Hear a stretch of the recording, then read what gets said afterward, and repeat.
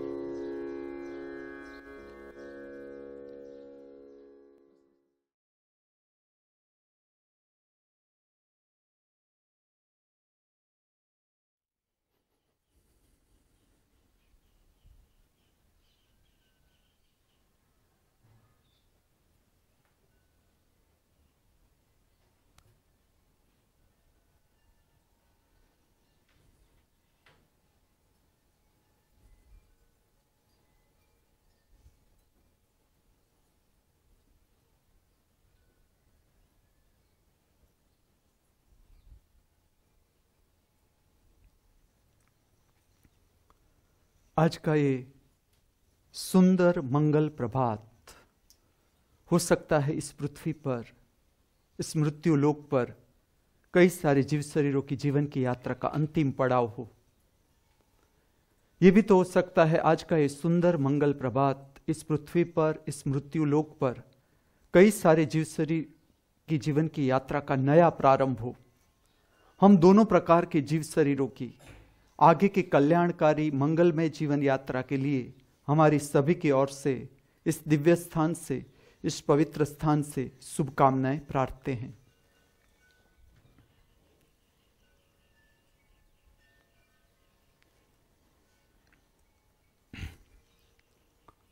महामृत्यु, महाअमृत विश्वविद्यालय, महामृत्यु, महाअमृत यूनिवर्सिटी इसकी एक पाठशाला, आत्मिक विज्ञान की पाठशाला the school of spiritual science इसके साथ संबंधित विषय। नवरात्रि का पर्व, इसका आध्यात्मिक महत्व आद्य शक्ति का स्वरूप, पराशक्ति के रहस्य, इस विषय पर आगे ले जाऊँगा। नवरात्रि के साथ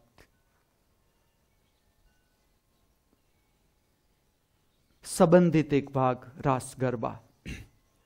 नवरात्रि का संदेश, आत्मिक शक्ति को जगाना सिंपलेस्ट वे नाचो, गाओ, झूमो, बजाओ।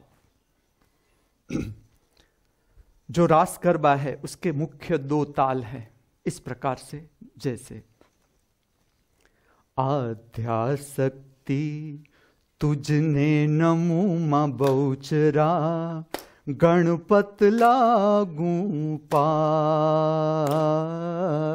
आद्या शक्ति तुझने नमू मा बहुचरा गणपत लागू पाय दीन जानी ने दया करो रे माँ मुखे मगुते था है दीन जानी ने दया करो रे माँ मुखे मगूते था रंग ताड़ी रंग ताड़ी रंग ताड़ी रे रंग माँ, रंग ताड़ी। ओ रंग ताड़ी रंग ताड़ी रंग ताड़ी रंग ताड़ी रे रंग माँ, रंग तारी है माँ, पावाते गढ़ तू वाड़ी रे रंग माँ, रंग ताड़ी। एक तालिए, दूसरा साथिया पुरावो द्वारे। दीवड़ा प्रगटावो राज, आज मारे आंगणे पदार से माँ पावा वाड़ी। जय अम्बे जय अम्बे अम्बे, जय जय अम्बे। जय अम्बे जय अम्बे अम्बे, जय जय अम्बे, ये ताल। ताल के साथ, जितनी रिदम की सेंस आपके भीतर, जितना ताल का ज्ञान, ताल से आपका प्रेम, संगीत से आपका प्रेम, सबको है। ये प्रमाण ज़्यादा कम हो सकता है, लेकिन सबके भीतर होता है। संगीत, ताल सबके भीतर होता है। हृदय में खाली खोलने की बात है। किसी ने तुम तुम्हें ये बात बताई नहीं, तब तक ये तुम्हारे भीतर बंद है। जैसे तुम जानते जाओगे, जैसे तुम संपर्क बनाओगे, ताल से, संगीत से, नाद से, ये बाहर नहीं। बाहर जो भी प्रागट्य है हमारे भीतर से है। सारी कलाएँ हमारे भीतर से इसका केंद्र हमारा हृदय है। जैसे तुम संपर्क बनाना शुरू करोगे, सारा खुलता जाएगा तुम्हारे भीतर से। और अगर तुम्हें रास गरबा में भी गहराई से काम करना है पूरा। तो जो गरबा तुम्हें अच्छा लगे, तुम गाना सीखो, तुम गाओ। हाथ से ताली बजाओ। ज़रूरी नहीं है कि तुम्हारे साथ कोई तबलची होना चाहिए या ढोलक वाला होना चाहिए। मैंने ऐसे रास गरबा मैंने देखे गाँव में। मेरी माँ ही करवाती थी। उसमें कोई कुछ नहीं था। कोई बजाने वाला भी नहीं था। पहले पुरानी अगर आप गाँव में देखी हो, नवरात्रि तो इस तरह से थी कि एक स्त्री होती है या पुरुष होता है, एक लाइन गाता है। और फिर सारे जो खेलने वाले हैं, वो खेलते भी है और गाते भी है। ये पुरानी पत्ती थी। कुछ भी नहीं था। न कुछ, न कोई हारमोनियम है बजाने वाला है, ना कोई ढोलक बजाने वाला है, ना। और फिर भी ये लोग इतने रसपूर्वक भाग लेते कि सब गाते सब, वो गरबा सब गाते तो जो सिंपलेस्ट पद्धति है रास गरबा की। वो ऐसी है कि अगर कोई नहीं है करवाने वाला तो एक गाता है और बाकी सब उसी पंक्ति का रिपीटेशन करते हैं तो गाना है। अगर आपको नृत्य में नृत्य की समझ में आप गहराई पाना चाहते हो तो मैं तुम्हें कहता हूँ कि एक दुर्णन प्रक्रिया ठीक से समझनी है। शरीर को हिलाना सीखना है, शरीर को हिलाना हिलाना डुलाना, ये दुर्णन प्रक्रिया। दूसरा है रास गरबा या लोक नृत्य, जो भी लोक नृत्य है, और उसमें रास गरबा तो इसका जो ठेका है, दो प्रकार के मुख्य ठेके हैं इसके, जो अभी मैंने गाए, ये दो प्रकार के ठेके। इस प्रकार की जो रचना है, अगर आप गाओ भी और नृत्य में उतरो, आपका रास बदलता जाएगा धीरे धीरे वही रास अलग ही प्रकार का स्वरूप ले लेगा। जो दुर्णन प्रक्रिया है या रास गरबा है, इसमें स्त्रियों को इतना देखना है कि जो मासिक धर्म का समय है, मेंसिस का समय है, अगर वो समय रास गरबा दरमियान आ जाए, नवरात्रि का पर्व है, चल रहा है, वैसे तो ये सीमित पर्व ही नहीं, मैं तुम्हें यहाँ तुम्हारा ध्यान ले जाता हूँ कि ये पर्व का संदेश तुम समझो। ये पर्व खाली नवरात्रि का नहीं है ये संपूर्ण जीवन का मार्गदर्शन है, संपूर्ण जीवन का, कि जीवन की धन्यता का स्वाद हम किस तरह से ले, जीवन में धन्यता किस तरह से पाए, जीवन का परम स्वाद किस तरह से ले, ये नवरात्रि का संदेश है। नवरात्रि प्रारंभ है केवल प्रारंभ, साधना का प्रारंभ है, अंत नहीं। लेकिन जो रास गरबा है एक्सरसाइज है, व्यायाम है, उछड़ कूद है दुर्णन प्रक्रिया है, उसमें स्त्रियों को दो बात बहुत ठीक से ध्यान में लेनी है। मासिक धर्म का समय में ना बैठक लेनी है, न आसन करने है। मासिक धर्म का जो समय उसमें ऐसा कुछ भी नहीं करना है। कई स्त्रियाँ मुझे मिली, साधक स्त्रियाँ, वो मुझे ऐसा बताती है, मासिक धर्म का प्रॉब्लम है उसे। एक तरफ़ वो ये प्रश्न पूछ रही है कि हमारा मासिक धर्म इरेग्युलर है या ज़रूरत से ज़्यादा ब्लड जाता है शरीर में से। और एक तरफ़ मैं उसे पूछूँ तो वो कहते हैं कि जब मासिक धर्म चलता है, तब भी हम पद्मासन लगा के बैठते हैं। संपूर्ण अवैज्ञानिक संपूर्ण अवैज्ञानिक। तुम ठीक से समझो। स्त्रियों, स्त्री साधकों को यह बात समझनी है कि ये जो शरीर है, स्त्री का शरीर है, जिसमें मासिक धर्म चालू होता है और तुम पद्मासन लगाओगे या वज्रासन में बैठोगे या सुखासन में बैठोगे, संपूर्ण गलत तरीका। ब्लीडिंग बढ़ जाएगा और शरीर बीमार हो जाएगा। तुम्हारा शरीर ज़्यादा बीमार हो सकता है क्योंकि ब्लीडिंग में ज़्यादा आयन शरीर में से निकल जाता है। हीमोग्लोबिन कम हो जाता है शरीर में। शरीर की ऑक्सीजन ग्रहण करने की कैपेसिटी कम हो जाती है इस समय में। इसलिए थकान लगती है, चिड़चिड़ापन आ जाता है। इसका विज्ञान देखे तो इतना ही है। कि जितना ब्लड शरीर में से बाहर जाता है, गर्भाशय से संबंधित है ये ब्लड। ये ब्लड जितना बाहर निकलेगा, हीमोग्लोबिन कम हो जाएगा शरीर में से स्त्रियों के, और आयन भी कम हो जाएगा। शरीर अशक्त होता जाएगा, और तुम्हारी शक्ति जब मेंसिस में है, कोई स्त्री मेंसिस में है, उसमें शक्ति ऊर्ध्वगामी नहीं हो सकती, क्योंकि ब्लड नीचे की तरफ़ जा रहा है तो उसमें उसे आराम करना है। इसमें न रास गरबा खेलना है, न एक्सरसाइज करनी है, व्यायाम करना है, उसे आराम करना है। लेफ़्ट हैंड साइड जिसे कहते हैं वाम कुक्सी, योग की भाषा में, वाम का अर्थ है डाबी बाजू लेफ़्ट लेफ़्ट साइड शरीर को रेस्ट करवाना है, या सवासन दो पैर ऊँचे करके रेस्ट करना है। पहला लेफ़्ट हैंड साइड रेस्ट है सेकंड प्रेफरेंस है, सीधा सो के रेस्ट करे। लेकिन कोई भी आसन लगाकर न बैठ, इसमें ना व्यायाम करना है, न रास गरबा खेलना है। इसका विज्ञान जो मैंने कहा, ये कि शरीर में से जितना ब्लड जाएगा, या इरेगुलर होगी मेंसिस तुम्हारा मूड ठीक नहीं होगा। और अवैज्ञानिक रूप से तुम अगर साधना करोगे, तुम्हारा, तुम्हारी शक्ति ऊर्ध्वगामी नहीं हो सकती। शक्ति को ऊर्ध्वगामी करने के लिए जिसे हम कहते हैं, जिसे पराशक्ति को जानना है, समझना है, आद्य शक्ति को जानना है, समझना है। इसका अर्थ है संपूर्ण जीवन को जानना है, संपूर्ण अस्तित्व का रहस्य जिसे जानना है, उसे अवैज्ञानिक तरीके से नहीं बढ़ना है, आगे शरीर खराब हो जाएगा। तो एक तो रास गरबा या दुर्णन प्रक्रिया, ये मेन्सिस दरमियान स्त्रियों को नहीं करना है।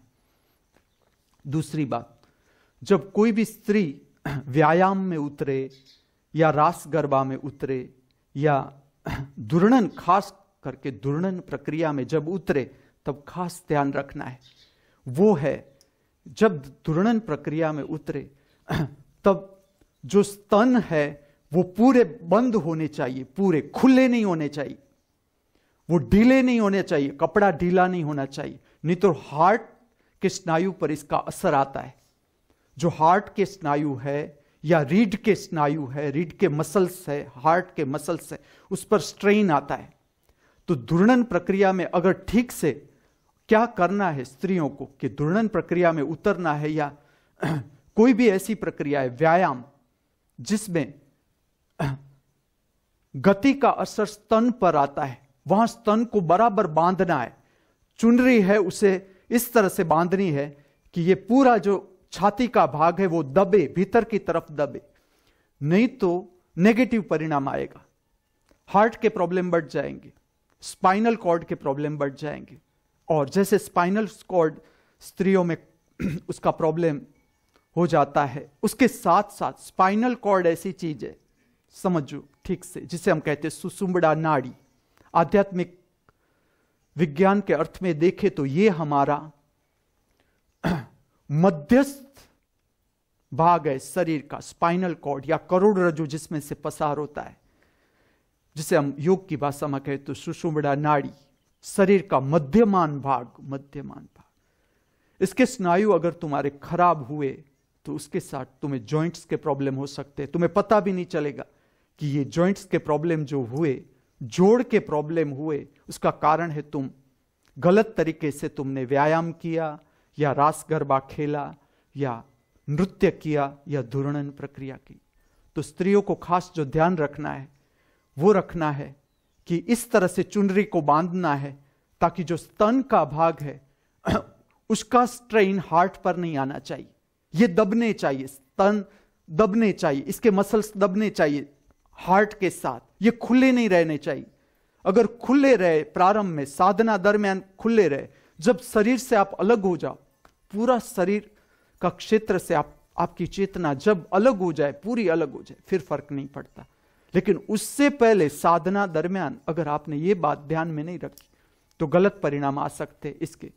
और इसके कारण शक्ति ऊपर जाने के बदले, ऊर्ध्वगामी होने के बदले नर्वस सिस्टम डावाडोल हो जाएगी। तुरणन प्रक्रिया में डावाडोल हो जाएगी। तुम्हारा मूड अच्छा होने के बदले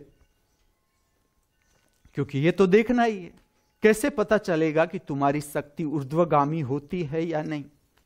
इसमें दो घटना होगी, जब तुम नृत्य में, साधना में उतरोगे। कोई भी साधना में ये होता है, लेकिन अभी हम बात कर रहे हैं रास गरबा की, या नृत्य में, साधना की बात कर रहे हैं। जब तुम नृत्य में उतरते हो तो एक तो जो पुराना शरीर है, पुराना शरीर, तुम्हारा, वो जलता है। पुराना जो अस्त व्यस्त शरीर तुमने जमा किया है तुम्हारे भीतर, उसके साथ अस्त व्यस्त भाव है। अस्त व्यस्त शरीर की संवेदना है अस्त व्यस्त मन है, अराजक मन है, अराजक भाव शरीर है और अराजक शरीर की संवेदना है, जो हैरान करती है। इसका इतना ही अर्थ है। वो भी बाहर आती है, तुम्हारे भीतर दबी हुई बीमारियाँ बाहर निकलती है, क्योंकि बीमारी अंदर अंदर अंदर सारे विषाक्त तरंग अंदर है। तो जब तुम प्रारंभ करते हो तो उसमें बहुत चीज़ें, बहुत सी चीज़ें बाहर आती। तो ये भी अनुभव होता है प्रारंभ में, कि अच्छा न लगना, ये अंदर पड़ा था तो वो बाहर भी आएगा। लेकिन इसके साथ साथ एक अनूठी मस्ती छाएगी तुम्हारे भीतर, अनूठी। नृत्य में साधना ऐसी बात है, जो मैं कहता हूँ, नाचना, गाना, झूमना, बजाना, ये अलग नहीं, ये अलग नहीं। मैं आध्यात्म के साथ इसे जोड़ता हूँ। और जुड़ा हुआ ही है भारत में जुड़ा हुआ, इस पर बहुत काम हुआ है, इस पर बहुत ही काम हुआ ये अलग नहीं है कि जो गाने वाला है, जो अच्छा गाता है, उसे खाली वहाँ पर सीमित नहीं रहना है। उसे बजाना भी है, उसे झूमना भी है, उसे नृत्य में भी उतरना है। जितना आप नृत्य में उतरोगे, अगर आप गायक हो और नृत्य में उतरोगे, आपका गायन और गहराई पकड़ लेगा, और डेप्थ पकड़ लेगा। अगर आप बजाने वाले हो रिदमिस्ट हो, आप हारमोनियम बजाते हो, आप फ्लूटिस्ट हो, और अगर आप नृत्य में उतरे, आपकी कला और निखरेगी। आप शिल्पकार हो और नृत्य में उतरोगे, आपकी कला और निखरेगी। क्योंकि शिल्प से आगे है नृत्य। नृत्य अंतिम कला है। नृत्य में सब कलाओं का समन्वय होता है। साहित्य का समन्वय होता है। कविता का, साहित्य का। साहित्य, संगीत, सर्वकला। नृत्य इसका सरवाड़ा है, अंतिम सरवाड़ा। तो इसमें सब कुछ समन्वित हो जाता है। और शक्ति पूरी ऊर्ध्वगामी होने के लिए पूरा अवकाश है आपके भीतर, पूरा अवकाश है। कुछ बात ध्यान में रखनी है, जो मैं कह रहा कह रहा हूँ। फिर एक बात और समझनी है कि जिसका पेट बड़ा है, इस पे क्या होता है? जब आप नाचते हो तो स्ट्रेन आता है, जो एब्डोमिनल मसल्स है, पेट के मसल्स है। कोई भी श्रम करो, जब आप श्रम करो, तब पेट को बांधना है, चाहे स्त्री है, चाहे पुरुष, पेट को ठीक से बांधना है। अगर ठीक से नहीं बांधोगे और तुमने पहले व्यायाम नहीं किया है न गरबा खेला है, और पेट के स्नायु से तुमने कुछ काम किया ही नहीं है, और डायरेक्ट तुम नृत्य में उतरोगे, बिना समझ के, वैज्ञानिक समझ के, तुम्हारे पेट के स्नायु खराब हो सकते और इसका भी असर स्पाइनल कॉर्ड पर आ सकता है, जिसके कारण जोड़ों के, जोड़ों में दर्द आ सकता है, बहुत सी तकलीफ़ हो सकती है पूरे शरीर में। तो पेट पर भी, चाहे स्त्री हो, चाहे पुरुष, उसे पेट बांधना है। किस तरह से तुम्हें नृत्य में उतरना है? अगर तुम्हें पूरा नृत्य में उतरना है, पूरे शरीर तुम, तुम्हारी क्षमता के अनुसार तुम्हें, जिसे हम कहते हैं तांडव। तांडव का अर्थ है द मैक्सिमम मोस्ट गति। शरीर की जितनी तुम्हारी क्षमता है, महत्तम गति, उसका पुराना नाम है तांडव। तो अगर तुम्हें महत्तम गति की ओर जाना है तो तुम्हारी सांस उच्छ्वास गहरी भी हो जाएगी रिदमिक भी होगी और इरिदमिक भी होगी। तुम्हारी फेफड़े की क्षमता से बाहर जा सकती है सांस उच्छ्वास। और इसमें अगर एब्डोमिन है जो तुम्हारा, उसके मसल्स ठीक नहीं है तो स्ट्रेन आता है। तुम्हारे फेफड़े पर भी स्ट्रेन आता है।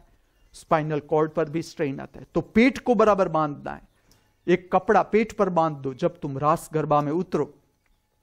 स्त्री है तो उसे इस तरह से कपड़ा लगाना है, चुनरी इस तरह से बांधनी है कि उसके स्तन बराबर बंद रहे, बराबर फिट रहे। वो हिलना नहीं चाहिए, नहीं तो उसका असर है, वो हार्ट पर आता है, हार्ट के मसल्स खराब हो जाते हैं। लूज हो जाते हैं, हार्ट के मसल्स, बहुत स्ट्रेन आता है। और हार्ट जब तुम्हारा जो हृदय है, उसका स्नायु हम भौतिक शरीर के माध्यम से देखें। अगर तुम्हारा हार्ट गड़बड़ हुआ, इसके साथ तुम्हारा मूड गड़बड़ हो जाएगा। तुम्हारी भाव दशा गड़बड़ हो जाएगी भीतर। भाव दशा गड़बड़ हुई तो तुम्हें अच्छा नहीं लगेगा और इसके साथ बहुत कुछ प्रारंभ हो जाएगा। शारीरिक तल की बीमारियाँ, मानसिक तल की बीमारियाँ शुरू हो जाएगी। तो अगर स्वास्थ्यप्रद वैज्ञानिक रूप से तुम्हें उतरना है नृत्य में तो ये बात को खास ध्यान में रखना है। अब जो नृत्य कला है, ऐसी कला है जिसमें सारा, सारी कलाओं का समन्वय होता है। इसमें एक भाग है नृत्य का, जो अभी हम बात कर रहे हैं रास गरबा की। उसमें एक आता है श्रृंगार, सजना सजना, दजना, सजाना, शरीर को सजाना। ये पुरानी प्रक्रिया थी, इसलिए दी गई थी। कि ताकि ये शरीर है, उसका हम रिस्पेक्ट करना सीखे। इसका महत्व समझे हम। शरीर पर ध्यान दे। शरीर को शरीर को नज़दीक से जानने के लिए यह पुरानी प्रक्रिया है कि तुम सजो धजो, सजाओ, शरीर को सजाओ। तो तुम तुम्हारे करीब आओगे। हम भूल जाते हैं, अपने शरीर को भूल जाते हैं। हमारे पास जो इतना नज़दीक है, जैसे कि हमारा चेहरा हमारा ही चेहरा देखने के लिए हमें आईने की ज़रूरत पड़ती है। समझो तुम, इतना हम हमारे पास है, हम हमारे करीब है। इतने करीब है हम, जो हमारा, हमारे भीतर परमात्मा का रूप है, सबके भीतर। हर जीव के भीतर परमात्मा स्वयं विराजमान है। लेकिन वो हमसे इतना एक रूप है, इतना नज़दीक है, इतना नज़दीक कि वो हमें दिखता नहीं। वो छूता है, फिर भी हमें। पता नहीं चलता, इतना नज़दीक। इसी तरह से शरीर हमारा, हम भूल जाते शरीर को भूल ही जाते शरीर के साथ इस तरह से व्यवहार करना है। पहले प्रारंभ करना है, मित्रतापूर्ण व्यवहार से प्रारंभ करना है। हम हमारे शत्रु हो जाते हैं। हम इस तरह से जीते हैं कि हम शरीर पर इतना बोझ डालते हैं, इतना बोझ डालते हैं खाने पीने का। कि शरीर बीमार हो जाता है। या तो हम लक्ष्य ही नहीं देते, कम खाते या खाते ही नहीं। इस तरह से बीमार हो जाता है। अति ध्यान देते हैं, अति भरते हैं शरीर। शरीर को तो भी शरीर खराब हो जाता है। या तो शरीर पर लक्ष्य ही नहीं देते तो भी शरीर खराब हो जाता है। शरीर पर सप्रमाण ध्यान देना ज़रूरी है। पुरानी विधि थी एक। कि इसी तरह से प्रक्रिया जो थी, उसका विज्ञान यह था कि इसके कारण तुम तुम्हारे नज़दीक आओगे कि चलो, शरीर को सजाना, दजाना है तो इसके कारण तुम तुम्हारे शरीर के करीब आओगे कि क्या पहनना है, किस तरह से पहनना है। ये चित्रकला का भाग है शिल्प कला का भाग है। तुम्हारे भीतर हर एक के भीतर चित्रकला है। रंग से तुम्हारा प्रेम है, तुम्हें पता नहीं। आकार से तुम्हारा प्रेम है। आकृति से तुम्हारा प्रेम है जाने अनजाने रंगों से प्रेम है तुम्हारा। जब तुम कपड़ा सिलेक्ट करते हो, हर एक की अपनी चॉइस है, हर एक का। हर एक की अपनी पसंदगी है कि इस तरह का मुझे कपड़ा पहनना है, काला पहनना है, केसरी पहनना है ग्रीन पहनना है। और सबका अपना ढंग है, सजने धजने का। लेकिन इसका विज्ञान ये था, मैं बात कर रहा हूँ, आध्यात्म के साथ इसे क्या संबंध? इसका विज्ञान ये था कि तुम शरीर को रिस्पेक्ट देना सीखो। शरीर के साथ जो हमें व्यवहार करना है, वो मित्रतापूर्ण व्यवहार। पहले प्रारंभ करना है मित्रतापूर्ण व्यवहार, कि किस तरह से हम शरीर को स्वस्थ रख सके। तुम करो काम के शरीर को किस तरह से स्फूर्ति में रखा जा सकता है। चुस्ती स्फूर्ति में रखा जा सकता है। 24 घंटे अभ्यास ये करना है। चलो, कि तुम्हारा शरीर कहाँ पर डल होता है? अगर कल हम देखें तो कल ये बात देख लेनी है कि कल का पूरा दिन हम जीवन जिया, हमने जीवन जिया। तो कहाँ कहाँ पर हमारा शरीर डल हो गया? कहाँ कहाँ पर हमारा मूड डल हो गया? तो ये तो कला जाननी है। मूड अगर डल हो गया है तो भागना नहीं है। खराब मूड से भागना नहीं है। खराब मूड को समझना है। बीमारी से भागना नहीं है। बीमारी को समझना है कि किस लिए बीमारी हुई? क्या कारण है बीमारी? बीमारी को पूरा जानना है। जब तुम एक बीमारी पूरी जान लेते हो, एक बीमारी पूरी जान लेते तुम बीमारी में से बाहर आने लगोगे धीरे धीरे या अंतर बढ़ने लगेगा, तुम्हारा शरीर के साथ अंतर होता जाएगा। यहाँ पर जो मैं बात कर रहा हूँ, वो है सजना धजना, शरीर को सजाना धजाना। जब रास गरबा में तुम देखोगे, ये लौकिक प्रक्रिया है, तुम बाहर देखोगे तो उसमें भी ऐसा होता है। कि लोग सजते हैं धजते क्या विज्ञान है इसका? विज्ञान एक है कि तुम शरीर के करीब आओ और शरीर को रिस्पेक्ट देना सीखो शरीर को। ये अमूल्य चीज़ है। जिस तरह से हम जहाँ हम रहते हैं, जिस जगह में रहते हैं, उसे साफ़ सुथरे करते हैं, सजाते हैं, धजाते हैं तो ये तो शरीर है। तुम बाहर से भी ठीक से जैसे जैसे तुम्हारी जागृति बढ़ती जाएगी, शरीर को तुम समझने लगोगे। तुम अगर शरीर को सजाते हो, वो भी बदलता जाएगा। वो तरीका जो है, सजाने का, धजाने का। रंगों के साथ तुम्हारी जो पहचान है, तुम्हारे भीतर एक शिल्पकार है, एक शिल्प की समझ है, आकृति की समझ है तुम्हारे भीतर। चित्रकार तुम्हारे भीतर है ही, रंगों से तुम्हारा संबंध है ही है। तुम्हें पता हो ना हो। कि कोई आवास है तो दीवार पर कौन सा रंग करना है? बैठक रूम है ड्राइंग रूम है तो उस पर कौन सा रंग होना चाहिए? तुम्हारा बंगला है तो बाहर से कौन से रंग रंग का होना चाहिए? तुम्हारा शयन खंड है तो कौन से रंग का होना चाहिए? तुम्हारा पूजा रूम है तो उसकी दीवार कौन से रंग की होनी चाहिए? ये सारी चित्र काम रंगों से हमारा संबंध है ही है। प्रकृति में रंग ही रंग, तुम देखो, पूरी प्रकृति, उसमें रंग अनेक प्रकार के रंग, ग्रीन तो ग्रीन के अनेक रंग।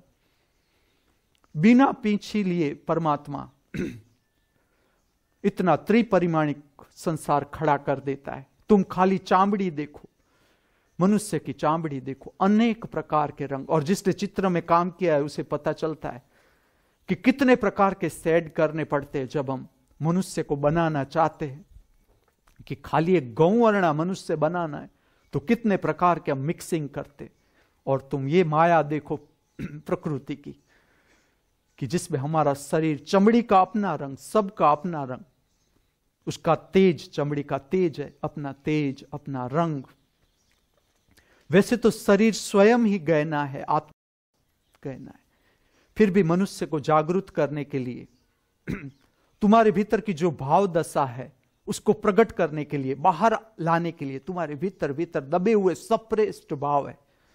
उसको बाहर लाने के लिए एक प्रक्रिया दी गई कि सजाओ, धजाओ। यहाँ पर एक बात साधक को ध्यान रखनी है, समझना है। तुम्हें जानना है, मैं कहता हूँ इसलिए मानने की ज़रूरत नहीं। तुम्हें यह देखना है, तुम्हारे भीतर औरों को तुम्हारे तरफ़ आकर्षित करने की कितनी भावना है, ये खास देखना है। क्योंकि औरों को जो आकर्षण करने की जो भावना है कि मेरे भीतर सब ध्यान दे, वो अगर तुम ठीक से पहचानो तो इसका संबंध है सेक्स की एनर्जी के साथ। जब सेक्स की एनर्जी तुम्हारे भीतर है, काम वासना की शक्ति है, प्रजनन की शक्ति है, वो पूरी तरह प्रकाश में रूपांतरित हो जाती है, ऊर्ध्वगामी हो जाती है पूरी तरह पूरी तरह से। तुम्हारे भीतर से काम तिरोहित हो जाता है, जब काम तिरोहित हो जाता है। औरों को तुम्हारे भीतर आकर्षित करने का भाव भी तिरोहित हो जाता है। क्योंकि आकर्षण का संबंध प्रजनन की शक्ति के साथ है। और यह खाली शब्दों से शब्दों से तुम्हें जानना है, शब्दों से, कि इस तरह से होता है। तुम्हें यह बात तुम्हारे भीतर तराशनी है कि मेरे भीतर औरों को अपने तरफ़ आकर्षित करने की भावना कितनी है? जब मैं ये विज्ञान तुम्हारे सामने खोलता हूँ, सजना धजना, ये एक भाग है। नृत्य के साथ संबंधित, कला के साथ संबंधित, इसका आध्यात्म के साथ क्या संबंध है? तो भावना जो देखनी है, साधक को देखना है अपने भीतर, वो ये देखना है। आध्यात्म के रास्ते पर, धर्म के रास्ते पर, जब हम अपने को समझ रहे हैं, तब हमें यह समझना है कि और को हमारे और आकर्षित करने की भावना कितनी है हमारे भीतर। जितना तुम्हारे भीतर प्रजनन की शक्ति अभी दबी है, सप्रेस है, तुम्हें पता नहीं, ये जगती रहती है, फिर सो जाती है, सुसुप्त हो जाती है, फिर जगती है, फिर सुसुप्त हो जाती है। जिस तरह से बाहर के प्रहर बदलते रहते हैं, इसी तरह से अंदर के भी प्रहर बदलते रहते हैं। अंदर भी शक्ति के बहुत से फेरफार होते रहते कभी शक्ति बनती है कभी संचित हो जाती है, कभी सुसुप्त होती है, कभी जागती है। तो हमें देखना इतना ही है। तटस्थ निरीक्षण से देखना है हमारे भीतर ये भाव कि है। और अगर ये है तो इसके साथ सब कुछ जहाँ पर काम वासना है, वहाँ प्रतिस्पर्धा है, स्पर्धा है, क्योंकि काम वासना में तुम्हें बाहर के, बाहर से संबंध बनाना पड़ता है। बाहर की व्यक्ति से तुम्हें अगर संबंध बनाना पड़ता है तो इसके साथ प्रतिस्पर्धा चालू हो जाती है। तो ईर्ष्या होगी ही होगी। जहाँ काम वासना है, वहाँ ईर्ष्या होगी ही होगी। काम वासना के लिए शरीर को बचाना पड़ता है तो लोभ होगा ही होगा तुम्हारे भीतर। काम वासना और लोभ भी होगा, क्योंकि काम वासना संचय से पैदा होती है। संचय चाहिए काम वासना के लिए। काम वासना की शक्ति को जगाने के लिए संचय चाहिए तुम्हारे भीतर। लोभ चाहिए। यह देखना है इस साधक को देखना है कि कौन सा भाव सरक रहा है। और इसको प्रजनन की शक्ति के साथ क्या संबंध है? इसे कहा गया मूलाधार चक्र की शक्ति, जो सबके भीतर होता है। जिस तरह से कादल, कादव से कंवल पैदा होता है, वो कादव में रहता है। फिर भी उसमें से कादव की ही शक्ति है। तुम समझो कमल। जो कमल खिलता है, कादव में खिलता है। उसे जो पोषण मिलता है, वो कादव से मिल रहा है। लेकिन वो कमल हो जाता है। तुम देखो, इसी तरह से हमारे भीतर होता है। कि प्रजनन की शक्ति ही प्रकाश में बदल जाती है। जो हमारे भीतर की शक्ति है, सुसुप्त शक्ति अगर तुम्हें कहो उसे, सुसुप्त शक्ति क्या है? तो मैं तुम्हें कहता हूँ, प्रजनन की शक्ति, वो सुसुप्त शक्ति है। और वो जब जागती है, जैसे जैसे जागती है, तुम्हें प्रजनन, काम वासना का भी अनुभव हो सकता है। जब वो शक्ति, सुसुप्त शक्ति तुम्हारे भीतर से जागती है, काम वासना का अनुभव हो सकता है। और अगर वो आगे रूपांतरित की जाए तो तुम्हें आनंद का अनुभव हो सकता है। उसी शक्ति से, वो बाहर से नहीं आती शक्ति।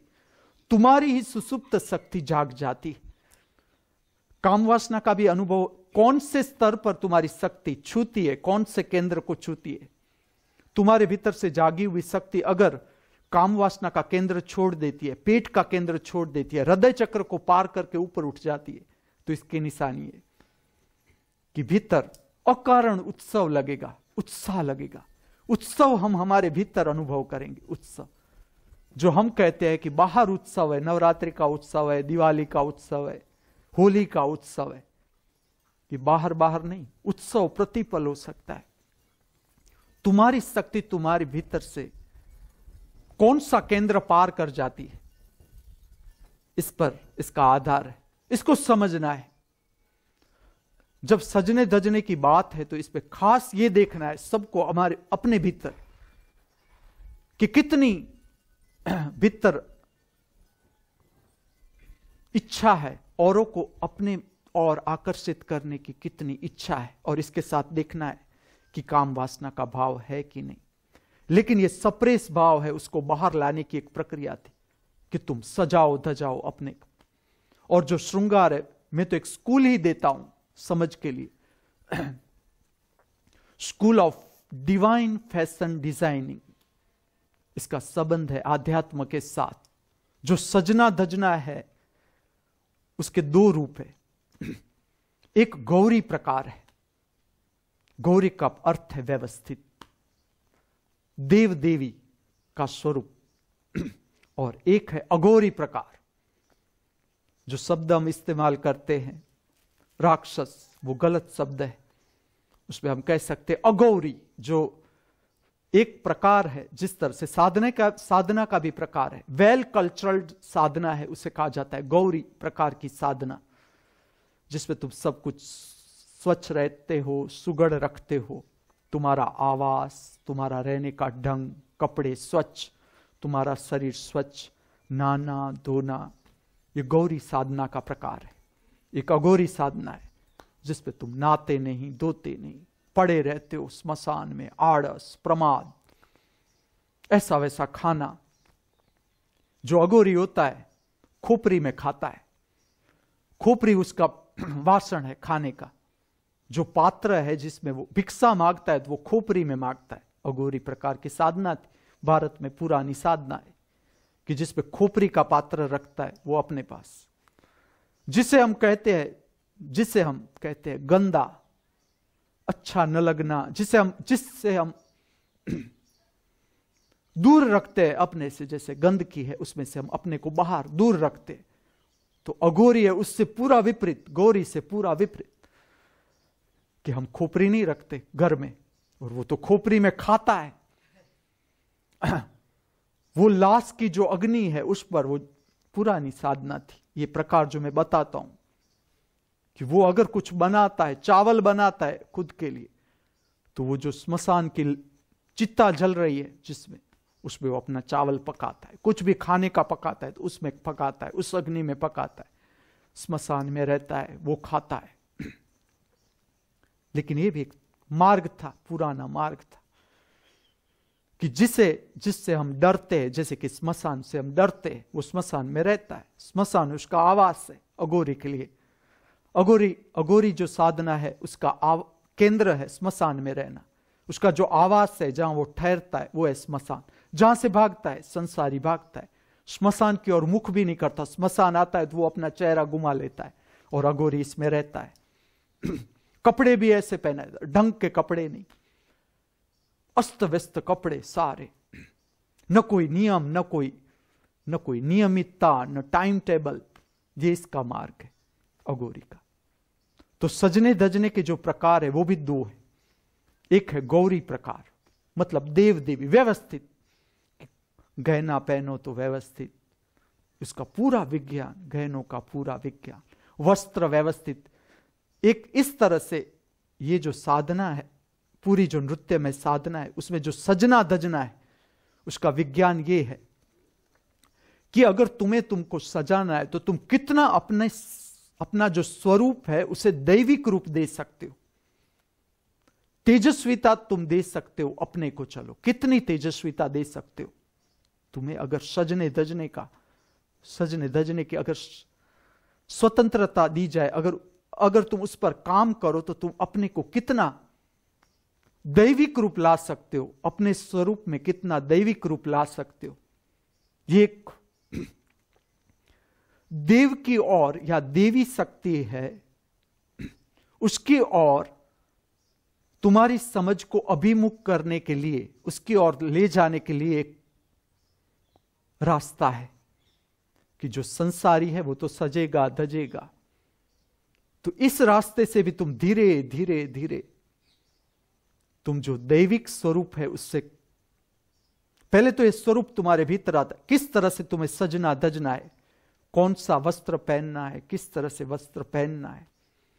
उसमें भी अगर तुम काम करते जाओ तो तुम्हें पता चलता है। मैंने अलग अलग नृत्य शास्त्रों में काम किया, उसमें मैंने देखा कि समझ लो मैं भरतनाट्यम का एक प्रकार है, शास्त्रीय नृत्य का प्रकार है। मैंने भरतनाट्यम में मैंने कथक के कपड़े पहनकर काम किया। जब मैं काम कर रहा था इसमें, जो फ़ैशन डिज़ाइनिंग है या जो वस्त्र है, सजना है, दजना है, इसका जो विज्ञान है, इस पर मैं काम कर रहा था। तो मैंने देखा कि अगर मैं कपड़ा चेंज कर दूँ तो भी जो भरतनाट्यम से विद्युत पैदा करनी है भीतर से, वो नहीं हो सकती। मैंने इतने तक देखा कि कोई एक नृत्य का प्रकार है। उसमें अगर ठीक से गहने न पहने जाए तो भीतर से जागी हुई जो विद्युत है, जो पुराना ढंग है, जो शास्त्रीय नृत्य का ढंग है, वो इस तरह से है कि भीतर से जो शक्ति जागती है, उसे किस तरह से सप्रमाण रूप में पूरे शरीर में फैल दिए, पूरे शरीर में फैला सकते हैं, जो जागी हुई शक्ति है, कि हाथ में कितना प्रमाण चाहिए शक्ति का, शोल्डर में कितना प्रमाण चाहिए, एब्डोमिन में कितना प्रमाण चाहिए खोपरी में कितना प्रमाण चाहिए शक्ति का, वो अगर अस्त व्यस्त हो जाए तो तुम्हें अच्छा नहीं लगेगा। नृत्य दरमियान भी अच्छा नहीं लगता, नृत्य के बाद भी अच्छा नहीं लगता। ये इसका विज्ञान बता रहा हूँ मैं, गहनों का, कपड़ों का। कि अगर तुम बदल दो रूप, शास्त्रीय नृत्य मणिपुरी का ड्रेस पहनकर तुम भरतनाट्यम करोगे, भरतनाट्यम नहीं कर सकते तुम। उसकी विद्युत उतर ही नहीं सकती। उसके साथ जो संबंधित चेतना है, अदृश्य शक्ति है, वो तुम्हारा संपर्क नहीं बना सकती। इतना गहरा विज्ञान है इसके साथ। उसका जो तरीका है, बराबर उसी तरह से तुम श्रृंगार करो तो ही वो चेतना है, पवित्र चेतना है। वो संपर्क बना सकती है, पवित्र शक्ति उतर सकती है, लेकिन उसके लिए खास श्रृंगार है। अगर वो श्रृंगार न किया जाए तो शक्ति नहीं उतर सकती। अगर भरतनाट्यम करना है और तुम कोई और नृत्य का, नृत्य का जो पहरवेश है, वो धारण करके या गहने धारण करके तुम करोगे, नृत्य में उतरोगे तो पता चलेगा कि ना, ये नहीं हो सकता, इसमें ये हो ही नहीं सकता। तो जो गौरी प्रकार है, दोनों प्रकार, मैंने दोनों प्रकार में काम किया कि एक में जिसमें अघोरी तुम कहते हो, हम उसे नाम देते हैं राक्षस, जिसमें डरावना कितना तुम डरावना बना सकते हो? चलो, तुम अपने को कितना डरावना बना सकते हो? इसके साथ संबंधित ये भाग है कि ऐसा ज़रूरी नहीं है कि रास गरबा है तो तुम गौरी प्रकार से ही खेलो। मैं तुम्हें श्रृंगार की समझ दे रहा हूँ। तुम अघोरी प्रकार का श्रृंगार भी कर सकते हो उसमें कि तुम जिसे हम गलत नाम दिया जाता है, लेकिन जो राक्षस हम जिसे कहते ऊपर श्रृंग है बड़े बड़े दांत है, जीभ बार निकली हुई है। कि कितना डरावना इसका इतना अर्थ है अगोरी का अर्थ है, तुम कितना तुम्हारा जो देखाव है, वो तुम डरावना बना सकते हो, डरावना। ये भी इसके साथ संबंधित है, लेकिन खो गई, ये बात खो गई। लेकिन मैं उससे बाहर निकालता हूँ कि ये जो श्रृंगार का प्रकार है, दो प्रकार है मुख्य सजने दजने का। एक है दैविक रूप, कि तुम अपने को कितना दैविक रूप दे सकते हो, कितना। चाहे तुम कृष्ण बनो, चाहे तुम राधा बनो, चाहे तुम शंकर बनो, चाहे तुम पार्वती बनो। देवी का रूप लो या देव का रूप लो। तुम जो बाहर का रूप है, बाहर का रूप उसे तुम कितना तेजस्वी बना सकते हो, कितना? चलो, तुम्हारे पास कितनी क्षमता है उसे उसे तेजस्विता देने की कितनी क्षमता है? ये पुरानी विधि है। कि तुम कितना सजा सकते हो? किस तरह से फूलों से सजाते हो, गहनों से सजाते हो? लेकिन इसके लिए कोई हरीफाई करने की ज़रूरत नहीं है। मैं साधना की बात समझा रहा हूँ तुम्हें, साधना की। हरीफाई समझनी है, प्रतिस्पर्धा समझनी है। हमें तो यही समझना है, हमें हमें हमारे भीतर उठते हुए सूक्ष्म भाव समझना है कि कोई अच्छा सजता धज, धजता है तो हमारे भीतर से ईर्ष्या आती है। कोई अच्छा दिखता है हमसे तो ईर्ष्या आती है। कोई अच्छा नृत्य करता है, कोई अच्छा गाता है, कोई अच्छा बजाता है तो हमारे भीतर से ईर्ष्या आती है। आती है तो आती है। हमें तो वो ढंग सीखना है कि किस तरह से ईर्ष्या का रूपांतर किया जाए। ईर्ष्या शक्ति है। ईर्ष्या का अर्थ है अदेखाई। अभी देखने की क्षमता नहीं हमारी पूरी तो ईर्ष्या का भाव उठा। इतना ही समझना है। जब ईर्ष्या पैदा होती है हर सूक्ष्म भाव है। हमारे भीतर का हर सूक्ष्म भाव, उसे समझना है। वहाँ से पीड़ा शुरू होती है। समझो, एक चींटी काट रही है, तुम्हें एक चींटी काट रही है। एक छोटी सी चींटी तुम्हें एक छोटी सी जगह पर काट रही है। इतना बड़ा शरीर, छह फुट का शरीर हो, सौ किलो का वज़न हो और एक चींटी, एक जगह काट रही है। फिर भी तुम देखना पूरा शरीर अस्त व्यस्त हो जाएगा। शरीर की संवेदना एक चींटी अस्त व्यस्त कर देती है और तुम्हें निकाल नहीं पड़ती है चींटी। ये बार की बात। ये शरीर की संवेदना की बात। इसी तरह से भाव है भीतर। ईर्ष्या कोई बड़ी नहीं है। ईर्ष्या इतनी सूक्ष्म है, इतनी सूक्ष्म। सारे भाव। चाहे वो क्रोध हो, चाहे वो घृणा हो, चाहे वो ईर्ष्या हो, तिरस्कार ये इतने सूक्ष्म है कि माइक्रोस्कोप में नहीं देखे जा सकते। तुम जब तक तुम्हारी आँख से उसे न देख पाओ, तटस्थ आँख से, तब तक पता नहीं चलता। और जो अपनी ईर्ष्या देख सकता है, सूक्ष्म ईर्ष्या को देख सकता है, वो बाहर के लोग की ईर्ष्या भी देख सकता है। पता चल जाता है कि इस व्यक्ति का भीतर कितनी जागी हुई शक्ति है, कितनी सोई हुई शक्ति है। इसका प्रमाण तुम अपने से पता चल सकता है। तुम जितने जागते जाते हो तो तुम औरों का भी अभ्यास कर सकते हो कि अभी इसके भीतर। जहाँ पर सुसुप्ति है, तुम समझो, जहाँ पर सुसुप्ति है, सब कुछ है। हमारे भीतर सब कुछ है। दिखता नहीं। ये रूप बदलता रहता है। जो हमारे भीतर सुसुप्ति है, कभी काम वासना का रूप ले लेती है, कभी क्रोध का रूप ले लेती है, कभी घृणा का रूप ले लेती है। ये सुसुप्त शक्ति है। और सूक्ष्म है, बहुत सूक्ष्म। ये इतनी सूक्ष्म तरंग है जिस पर हमें काम करना है। कि तुम्हें केंद्र समझना है कि कहाँ से ईर्ष्या पैदा हुई तुम्हारे भीतर, कहाँ से क्रोध की तरंग पैदा हो गई तुम्हारे भीतर। यह सूक्ष्म तरंग को पकड़ना है। जैसे तुम्हारा ध्यान उस केंद्र पर जाता है कि जहाँ से वो प्रकट होती है, वहाँ पर तुम्हारे भीतर से जागी हुई तीसरे नेत्र की जो शक्ति है, आत्मा का प्रकाश है, आत्मा की किरण है जागी हुई शक्ति है, उसकी किरण, जब उस केंद्र को छूती है, उस ईर्ष्या की तरंग को, उस काम वासना की तरंग को, उस क्रोध की तरंग को छूती है, तभी वो जलती है, उससे पहले नहीं। तुम जिस तरह से हम बाहर बाहर से घास काट लेते हैं, समझौता कर लेते हैं बाहर बाहर से, लेकिन भीतर ईर्ष्या होती है, भीतर क्रोध होता है, और पूरा दिन है, अभ्यास करने के लिए पूरा दिन, और इतना बड़ा विश्व, इसमें इतने सारे लोग जहाँ हम रहते हैं तो हमें पता चल सकता है, जो बाहर का पूरा माहौल है, उसका उपयोग यही करना है। भीतर को समझने के लिए कि कितनी शुद्ध हुए हम, भीतर से कितने शुद्ध हुए। और जैसे जैसे तुम भीतर से शुद्ध हो जाते हो, तुम्हारा श्रृंगार भी बदल जाता है। तुम्हारा स्वरूप ऐसे ही बदल जाता है, कोई सजने धजने की भी ज़रूरत नहीं, कोई भी। जो तुम्हारा जिसे हम कहते हैं आउटलुक जो बाहर का देखा हुआ शरीर का, वो भी बदल जाता है। जैसे जैसे हम भीतर से शुद्धि प्राप्त करते मैं तुम्हें, जब हम आध्यात्म की दिशा में श्रृंगार को समझे तो इस तरह से समझना है। सजना धजना समझो तुम तो इस तरह से समझो। कि अगर तुम्हें भीतर से आता है किसी का, सबका अपना अपना मार्ग है, स्वभाव है, किसे सजना धजना अच्छा लगता है, साहजिक है किसके लिए? तुम्हें यह देखना है कि तुम जो गहने पहनते हो, तुम जो वस्त्र धारण करते हो, उस वस्त्र में, उस गहनों के साथ तुम अपने केंद्र पर रह सकते हो या नहीं रह सकते। तुम्हारा जो शरीर है, वो फ्रेश रह सकता है।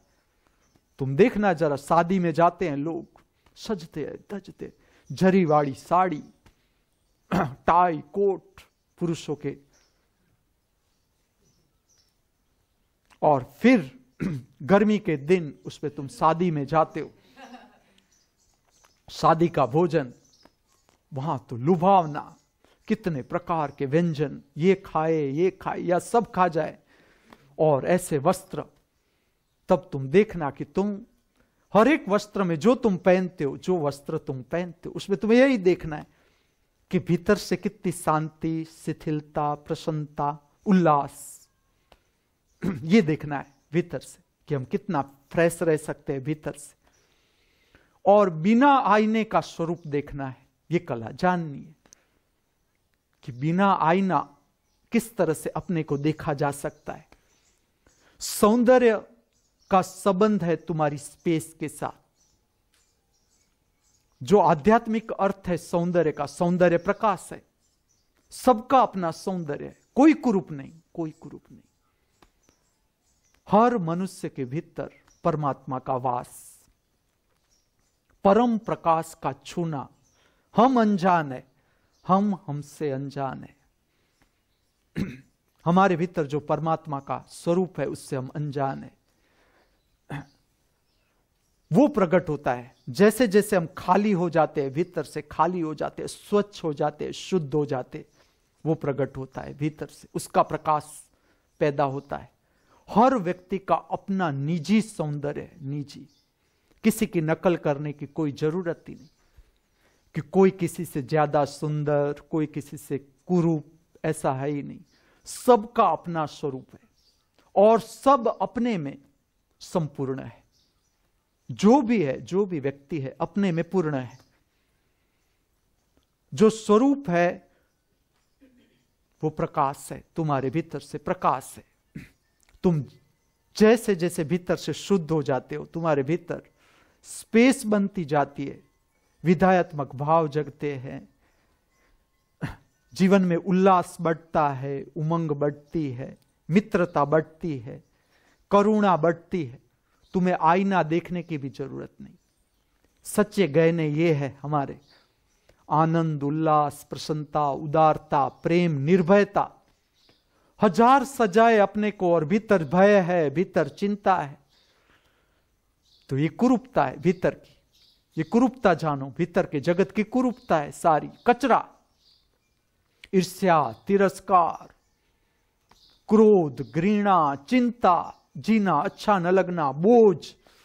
जीवन में न कोई उत्साह, न उमंग, निराशा, हताशा। ये सारी कुरूपता भीतर की। परमात्मा कुरूप नहीं हो सकता। क्योंकि परमात्मा का अर्थ है परम स्पेस अनंत स्पेस सूक्ष्म से सूक्ष्म और विराट से विराट। ये परमात्मा का रूप। वो कभी कुरूप हो ही नहीं सकता। उसका रूप भी है और अगर कुरूपता है तो वो उसका ही भाग है। वो सब कुछ धारण किए हुए। अगर इस तरह से समझे तो वो सब रूप धारण किए हुए। वो कुरूप भी है, चलो। इसलिए तो जो विज्ञान है, जो मैं पूरी स्कूल खोलता हूँ उसकी पूरी एक स्कूल समझ के लिए, इसके मुख्य दो प्रकार। एक गौरी स्वरूप, एक अगौरी स्वरूप। और जो कलाकार है, भीतर से जिसकी कला जागती है, जैसे धर्मानंद शिल्प में काम करता है, वो जब आया मेरे पास, मैंने उसे कहा, तुझे सब में रस लेना है। हर नृत्य का जो पहरवेश है, तुझे उसमें जाना है, समझना है कि किस तरह से गहना होता है, क्या अर्थ है गहने का। मैं पूरा विज्ञान बताऊँगा कि गहनों का क्या विज्ञान है। लेकिन इससे पहले तुम्हें अगर जानना है तो वो यही जानना है कि तुम्हें सहज श्रृंगार जो भी आता हो, रास गरबा के लिए, तुम देखना कि जब तुम श्रृंगार करोगे, तुम्हारा मूड भी अच्छा हो जाएगा पॉजिटिव हो जाएगा मूड खाली इसका विज्ञान इस तरह से समझना है। जैसे आर्टिफिशियल चीज़ वस्तुएँ है मेकअप की, वो आध्यात्म में नहीं आती। मैं उसको प्रोत्साहित नहीं करूँगा। कि अगर तुम मेकअप कर रहे हो, चेहरे पर लिपस्टिक लगा रहे हो तो मैं उसे महत्व नहीं दूँगा। क्योंकि तुम्हारा चेहरा जैसा भी है, पहले तुम जानो कि अगर तुम्हारा चेहरा ठीक नहीं लग रहा है, तेजस्वी नहीं लग रहा है तो तुम्हें व्यायाम समझना है। तुम्हें योगासन जानने कि किस तरह से ब्लड शुद्ध हो भीतर का। जैसे तुम्हारे भीतर की तंदुरुस्ती बढ़ेगी, तुम्हारा चेहरा अपने आप खिलेगा। बिना मेकअप के गुलाबी लगेगा। चाहे तुम्हारे बाल कितने सफ़ेद हो गए, दांत भी न रहे मुख में तो भी तुम सुंदर लगोगे। तुम देखना, सौंदर्य का विज्ञान जो मैं तुम्हें परिचित करता हूँ, वो इस तरह का सौंदर्य का विज्ञान है कि जिसका संबंध भीतर की शुद्धि के साथ है। हमें देखनी है शुद्धि, साधक को देखनी है शुद्धि, कि शरीर कितना शुद्ध हुआ, स्फूर्ति कितनी। तुम हज़ार सजो रास गरबा ठीक से नहीं खेलोगे, तुम्हारे श्रृंगार का कोई अर्थ नहीं। पहला जो ध्यान देना देना है, वो शरीर की चुस्ती स्फूर्ति, श्रृंगार बाद में आता है। उसे सेकंड प्रेफरेंस पर लो। पहला प्रेफरेंस है, शरीर को हिलाओ, डुलाओ, बराबर। शरीर का पूरा उपयोग करो, पूरा। लेकिन यह भी समझ है, श्रृंगार समझ है। तुम देखना जो श्रृंगार करते सबकी तुम दृष्टि देखना कि किस तरह से श्रृंगार करते शरीर को सजाते हैं, किस तरह का कपड़ा पसंद कर से करते हैं कौन सा वस्त्र पहनते पूरा जीवन जानना। जब तुम कोई व्यक्ति को जानो तो तुम उसे पूरा देखना, पूरा समझना। उसका पूरा ढंग जीवन जीने का पूरा ढंग और श्रृंगार। कि किस तरह का श्रृंगार, कितनी समझ, जीवन के बारे में कितना दर्शन दर्शन की विस्तार कितना, उसका जीवन का ढंग कैसा? अगर इस तरह से सजता है तो उसका जीवन का अपना ढंग कैसा? किस तरह से जीता है? क्या खाता है, क्या पीता है, कैसी बातें करता है, व्यवहार कैसा?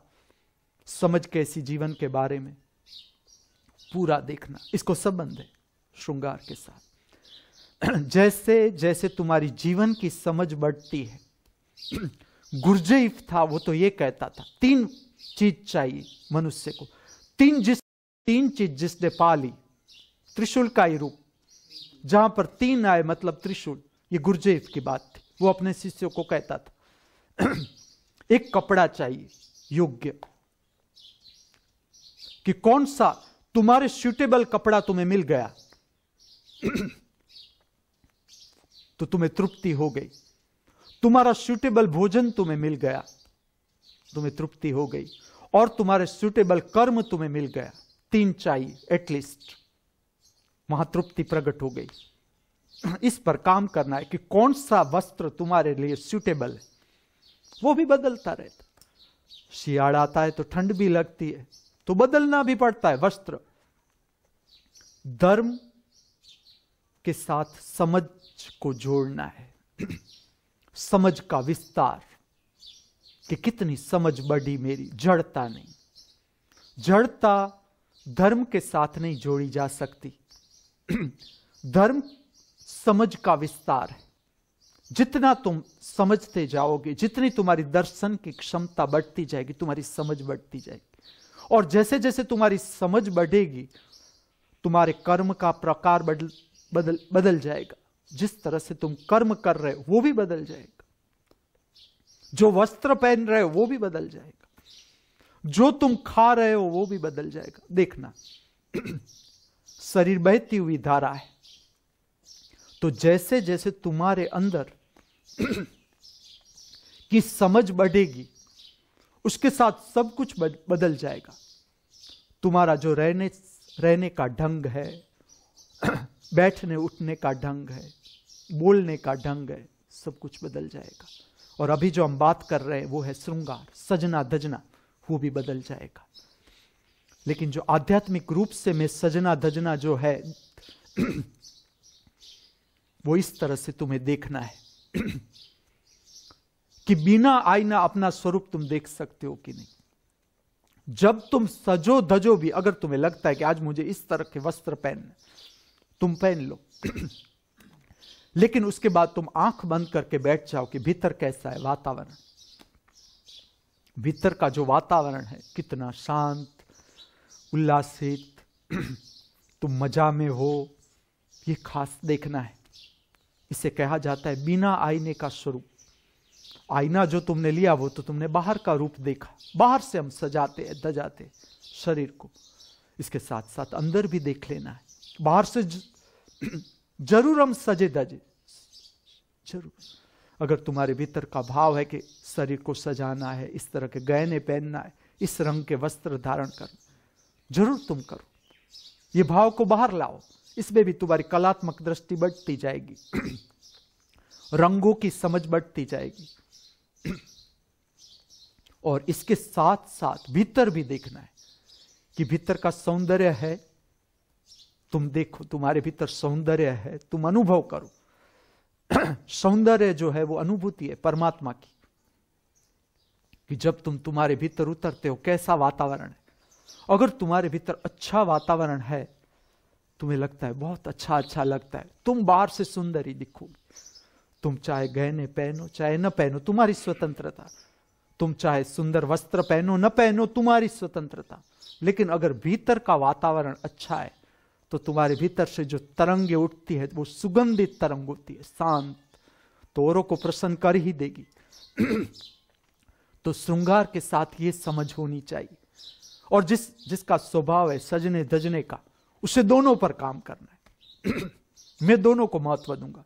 मैं रास गरबा में ऐसा कहूँगा, तुम क्या, तुम अघोरी रूप भी धारण करो। चलो, अघोरी रूप। शंकर का एक शंकर को अर्धनारेश्वर रूप जो दिया गया, उसमें दो रूप है, शंकर के दो रूप है।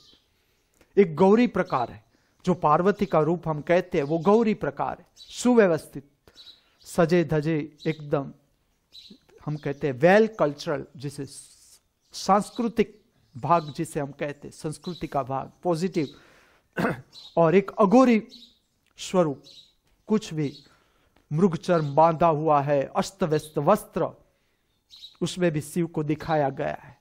उसका क्या अर्थ है? कि ये दोनों रूप पर काम करो। अगर धर्मानंद को करना है, चक्की को काम करना है, सबको जिसे अंदर से आए, मैं तुम्हें दृष्टि देता हूँ कि दोनों रूप में तुम काम कर सकते हो। मैं मेरा एक अनुभव कहूँ कि जब मैं छोटा था तो मैंने, ये अनुभव मुझे इतना अच्छा लगा कि उसमें मैंने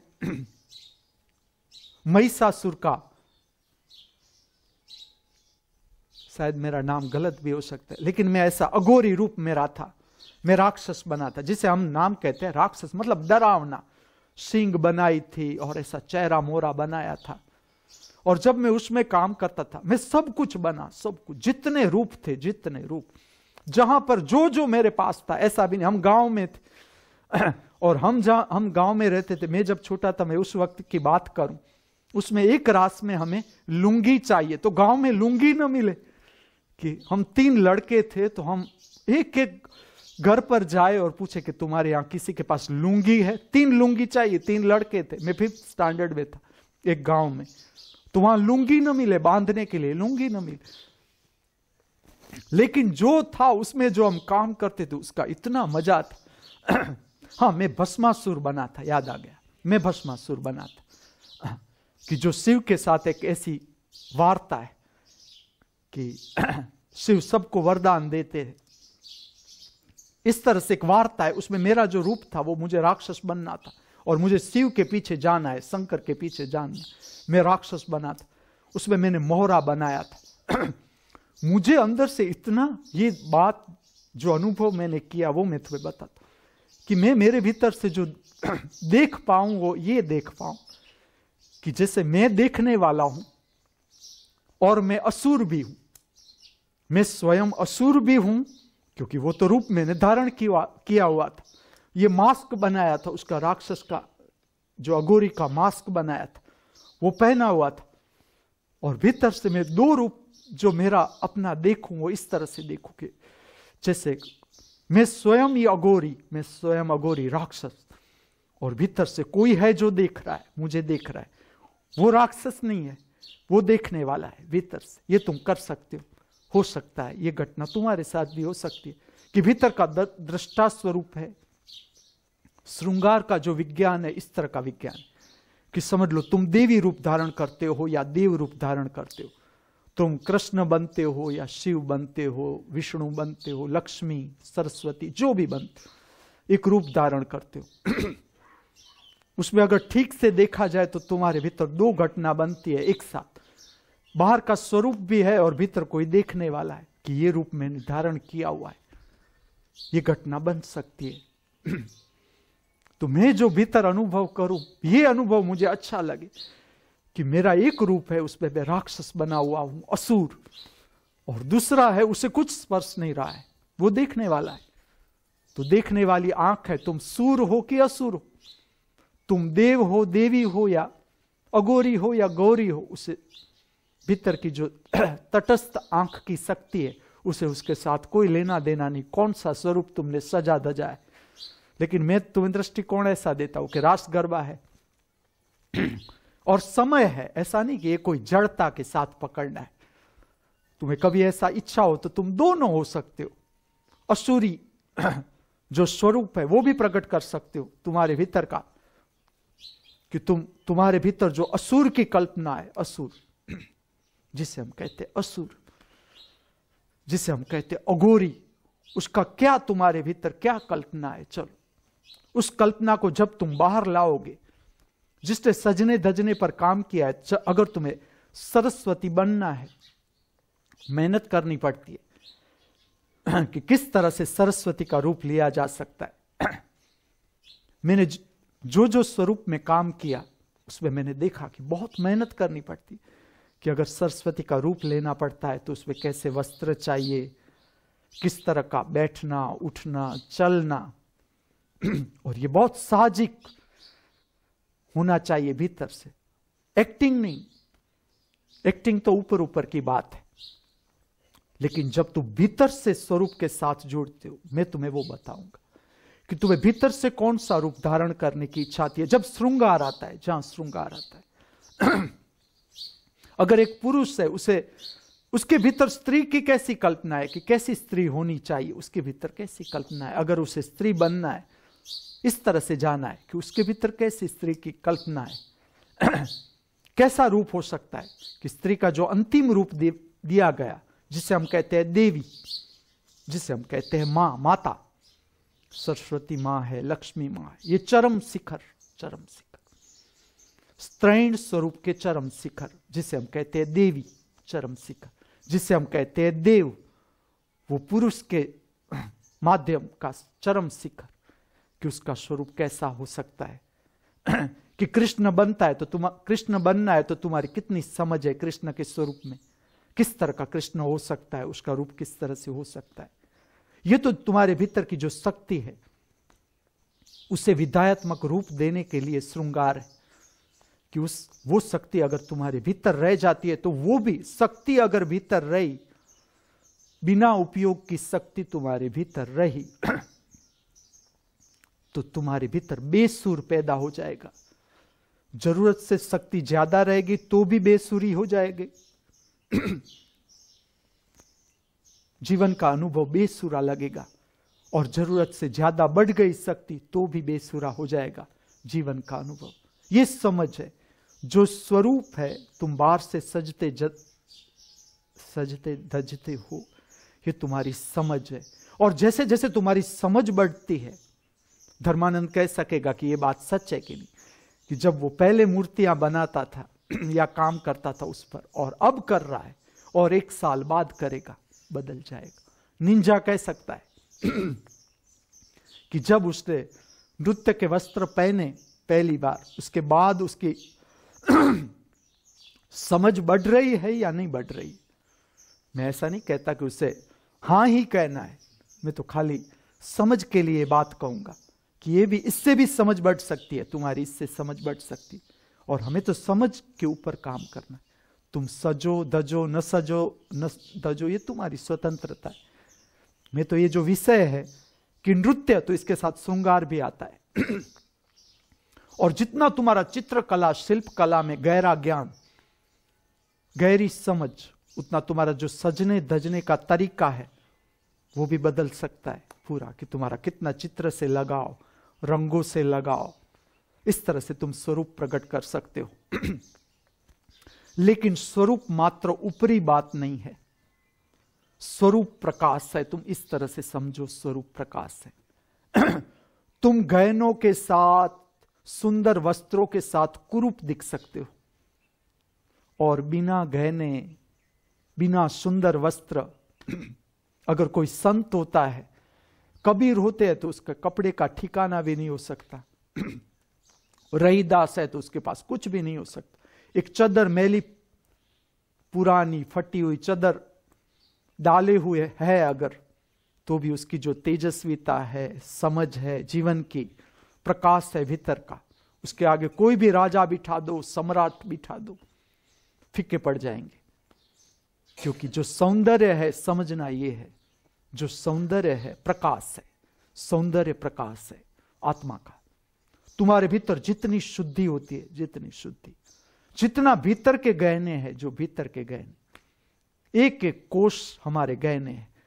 वो जितने शुद्ध होते हैं। रत्न जड़ित हम स्वयं है, हम स्वयं रत्न जड़ित है। जो बाहर के श्रृंगार दिए गए देव देवियों का उसका इतना ही उद्देश्य है कि हम स्वयं हमारे पास अमूल्य खजाना है रत्नों का, उसे निखारना है। ये जीवन इसके लिए मांझना है, हमें अपने को साफ़ करते जाना है, करते जाना है, करते जाना है। यहाँ जो समझ है श्रृंगार में, वो समझ ये है कि जो सौंदर्य है वो प्रकाश है, स्पेस का, आत्मा का। परमात्मा का प्रकाश है और उसको संबंध है शुद्धि के साथ। सौंदर्य को संबंध है। भीतर से हम कितने शुद्ध हुए। शारीरिक तल में, शारीरिक रूप से, मानसिक रूप से। विचार कितने शुद्ध, शांत और भाव के रूप से। प्रकाश है, सौंदर्य। मैं किस लिए कह रहा हूँ कि प्रकाश है। यह स्वयं नवरात्रि का एक भाग है। नवरात्रि का एक क्रियाकांड है। एक प्रक्रिया है। मैं जब छोटा था, मुझे बहुत, ये जब मैं समझ रहा था कि नवरा अंदर से ही चल रहा था, ऐसा भी नहीं कि मैंने कभी प्रयत्न किया, मैं तुम्हें बताता हूँ। जब मैं छोटा था और पहली बार मुझे स्मरण है कि मुझे लिया मुझे मेरी माँ लेकर गई, वो, मैं उसकी गोद में बैठा था और बैठे बैठे मैं अंदर रास गरबा भी देख रहा हूँ और साथ में जो मंदिर का अंदर प्रकट हुआ, दिया है, उसका प्रकाश भी देख रहा हूँ। इसके साथ साथ मेरे अंदर चलता था कि नवरात्रि है क्या? माता जी का रूप है क्या? इसका स्वरूप है क्या? ये मैं जो कुछ भी सुनूं, मुझे तृप्ति न मिले, अंदर से तृप्ति न मिले। ऐसा ही लगे कि ना, कुछ चुका जा रहा है। ये जो पर्व है, इसका अद्भुत संदेश है। ये खाली इतनी छोटी छोटी बातों के लिए नवरात्रि नहीं हो सकती। जो कुछ भी मैं बाहर से जानता था, मुझे वो जवाब संतोषकारक नहीं दिखता था। उस वक्त जिसको भी मैं मिलता था, मैं जानने की कोशिश करता था कि माता जी का अगर कोई वक्त है तो मैं उससे पूछता हूँ कि किस लिए है, ये गरबा किस लिए तुमने रखा, जिसमें इससे छिद्र है, दिया ऐसे भी हम रख सकते इसमें गरबे में रखने की क्या ज़रूरत है? अगर वो ठीक हो, जिसके साथ में बातचीत कर सकता हूँ तो मैं उससे पूछता था सवाल। और मुझे लगता है कि ना, वो गुस्सा में आ रहा है, वो नहीं समझ समझा सकता है मुझे। तो मुझे यह भी पता था कि यह बाहर से जानने वाली बात ही नहीं। मैं तुम्हें इस तरह का मार्गदर्शन दूँगा कि कुछ जब रंजन मेरे पास समय मांग रही है, मैं नहीं दूँगा समय। कई लोगों के साथ अब मैं बातचीत करूँगा ही नहीं। बहुत कर ली मैंने बातचीत। अब आगे के जो रहस्य है, तुम, अगर तुम्हें कुछ हैरान कर रहा है, कुछ प्रश्न है, तुम्हारे भीतर जग रहा है, तुम्हें कुछ जानना है अब वो जवाब अगर बाहर खोजने तुम चलोगे, तुम चुक जाओगे। वो जवाब तुम्हें, मुझे तुम्हारे भीतर से चाहिए और आ ही जाएगा। तुम किस लिए अश्रद्धा रखते हो? मैं जो बोल रहा हूँ, तुम्हारे आत्मा की बात बोल रहा हूँ। ये तुम्हारी आवाज़ है। मेरा मुँह खाली लाउड स्पीकर समझो तुम। ये आवाज़ तुम्हारे भीतर से आती है। मेरे शरीर के माध्यम से मात्र प्रकट होती है। तो अब मैं रंजन को, वो कह रही है कि मुझे मिलना है आपसे। मैं कहता हूँ, नहीं मिलूँगा मैं तुझे। सबके सामने कह देता हूँ। कुछ लोगों को मैं ना कह दूँगा कि ना, तुम्हारे पास काफ़ी है, काफ़ी। तुम नहीं जानते हो। तुम्हारे पास काफ़ी समझ है। अब उसका उपयोग करो तुम, उपयोग करो। अंदर से जवाब आने चाहिए, अंदर से। कुछ हद तक मैं शब्दों से बात बताऊँगा, इससे आगे नहीं। तुम्हें जो मैं समझना चाहता था कि ये गरबा है क्या? मैं मेरी माँ को भी पूछता था कि किस लिए गरबा रखना है? वो मुझे ठीक नहीं बता सकती थी गरबा किस लिए रखना वो रखती थी। और मैं देखता भी था कि उसे इतना रस भी नहीं है बस वो रखना है तो रखना है। मैं कई लोगों को तो ऐसे ही देखता था कि वो भय के कारण रखते कि अगर हिंदू धर्म वो कर रहे हैं हम हिंदू कॉलोनी में रह, रहते हैं वो मैंने भी देखा कि समझ लो एक दस कुटुंब रहते हैं जहाँ नौ गृहिणी है, वो गर्भा स्थापना करती है। अब दसवीं है, उसे अंदर से इच्छा नहीं है गर्भ स्थापना की। लेकिन वो अगर न रखे तो बाकी की नौ गृहिणी है, वो उसे रिजेक्ट करेगी कि ये ठीक नहीं है, ये मानती नहीं है माता जी को, वो उसे अलग कर देगी। तो भय के कारण भी रखते। मैं जैसे जैसे, जब जब लोगों को मिलता रहा, मैं यही देखता रहा।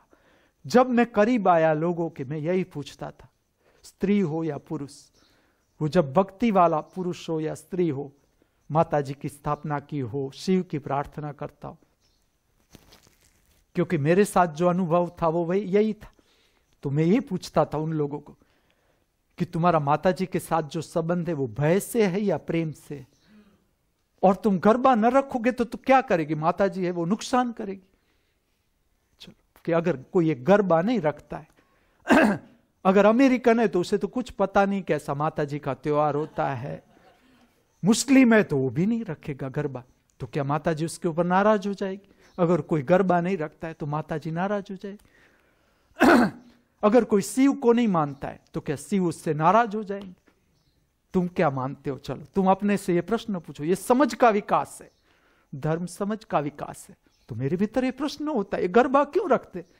पहले गरबा रखते और फिर नौवा दिन व आया दसवा दिन आया तो फिर वही गरबा तारने के लिए जाना। पहले यही झंझट, गरबा लाओ, उसको रंगो, करो, पूजा करो, प्रार्थना करो।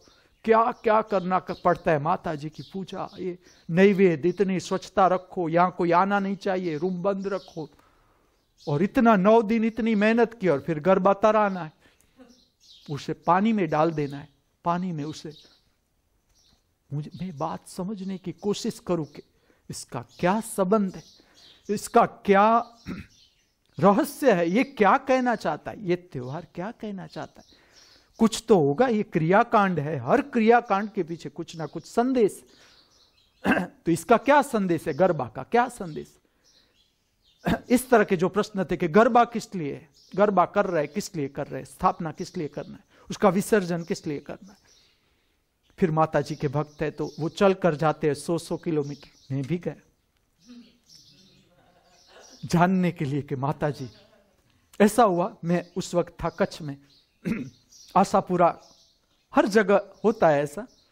कोई अंबा माँ का दर्शन करने के लिए आते हैं माता जी का दर्शन, हर जगह अपना अपना लेकिन चल कर जाने की प्रक्रिया है चल कर जाने। अब ऐसा हुआ, सौ किलोमीटर पर माता जी का मंदिर था। मैं बराबर पचास किलोमीटर तक आया, तब मुझे पता चल गया कि किस लिए ये, बताऊँगा मैं। मैं वहाँ से पीछे लौटा। तो जो मुझे रास्ते में मिले जान पहचाने वाले, ऐसे भी अगर रास्ते में किसी के साथ पहचान हो जाए, वो कहे, उसने कहा कि दर्शन करके आए। मैंने कहा, मैं पचास किलोमीटर से। बस अब पचास किलोमीटर है, तुम चली जाओ माता जी का दर्शन है आशापुरम। मैं उसे इस तरह से बताता था कि मुझे जाना तो था, लेकिन आशापुरा माँ का दर्शन पचास किलोमीटर पर ही हो गया। तो उसे भी इस बात से बहुत कि किस तरह से होता है, माँ का दर्शन क्या होता है? ये प्रक्रिया क्या है चलने की, किस लिए जाना है? या पहाड़ पर माता जी बैठिए। इतना कष्ट वाला पहाड़ लगता है कि माता जी ने सब कुछ जान लिया, फिर इतना ऊँचे पहाड़ पर बैठने की ज़रूरत क्या है?